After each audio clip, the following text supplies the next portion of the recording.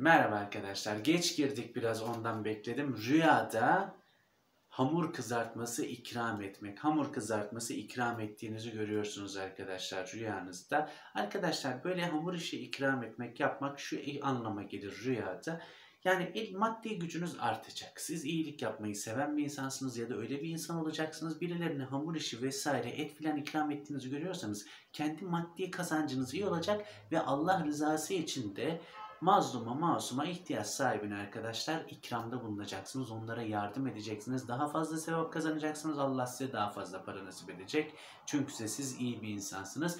Yani Böyle ikram rüyalarında bu anlama gelir arkadaşlar. Rüyanın yorumu tam olarak budur. Maddi olarak güçleneceksiniz. İçinizde bir iyilik yapma isteği var. İnsanlara yardım etme isteği var. Allah size diyecek ki kulum bu para senin ve onu istediğin gibi harca. Siz de Rabbim diyeceksiniz. Ben senin rızanı kazanmak istiyorum ve insanlara yardım edeceksiniz vesaire. Budur arkadaşlar. Yani yorum budur. Görüşürüz. Hoşçakalın.